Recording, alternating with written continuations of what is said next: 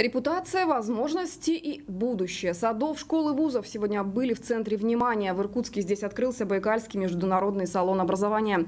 На него приехали тысячи гостей, включая экспертов из США, нескольких стран Европы и Азии. Их общая задача – найти максимально эффективные способы передачи знаний новым поколениям, подготовить детей к изменениям современного мира и объединить в этой работе не только преподавателей, а также родителей и представителей бизнеса. Плотное общение рассчитано на три дня. Сегодня началась работа дискуссионных площадок, стратегических сессий и круглых столов. А завтра участники смогут задать вопросы представителям региональной власти. Послезавтра увидеть и перенять лучшие практики в работе с детьми.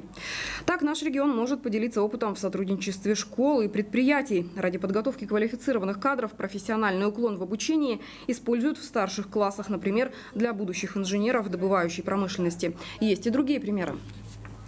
Настолько вот востребованы, видимо, специалисты э, в этих отраслях, что железная дорога согласилась и работать будет с пятиклассниками. И уже ребята там учатся, там уже работают, уже э, занимаются на детской железной дороге. Росгвардия, третий профиль, тоже пятый класс. Вот Росгвардия э, заинтересована растить этих детей с пятого класса до одиннадцатого, чтобы они потом пришли тоже к ним на службу.